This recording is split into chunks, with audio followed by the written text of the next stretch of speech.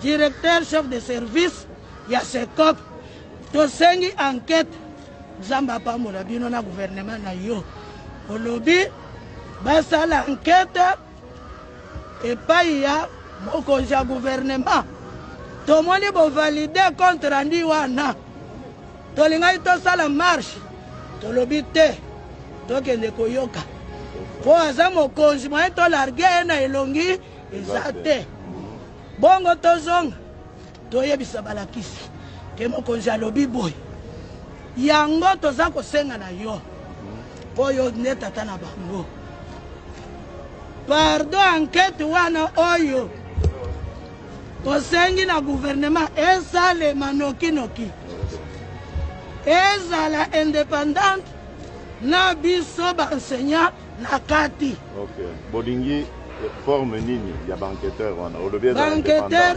indépendant oui c'est à dire banani bolingi nani aya kosala tolingi yo gouvernement oluka bato na yo okay. biso toya Ok, bino pe ba enseignants. Ba enseignants. Est-ce que boza ba représentants na bino?